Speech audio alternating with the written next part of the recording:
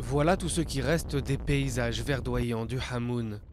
Dans le sud-est iranien, cette région frontalière avec l'Afghanistan était il y a 15 ans la septième zone humide du monde, mais aujourd'hui ce sont des paysages désertiques à perte de vue. Dans le village de Siksar, les habitants vivaient autrefois, les pieds dans l'eau.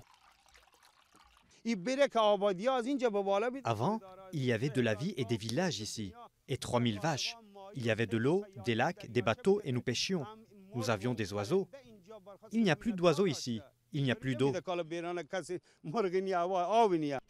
Les barrages construits en Afghanistan ont asséché la région, combiné avec les pluies de plus en plus rares. L'économie locale s'est effondrée et les jeunes fuient vers les grandes villes. Le village est désormais alimenté en eau par un camion-citerne.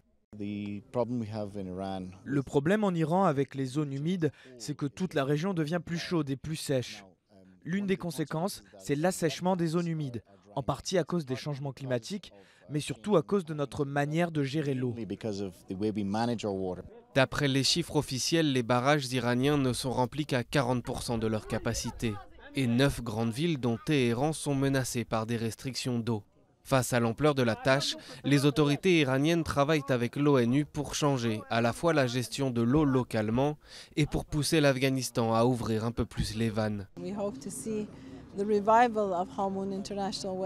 Nous espérons voir revivre la zone humide de Hamoun.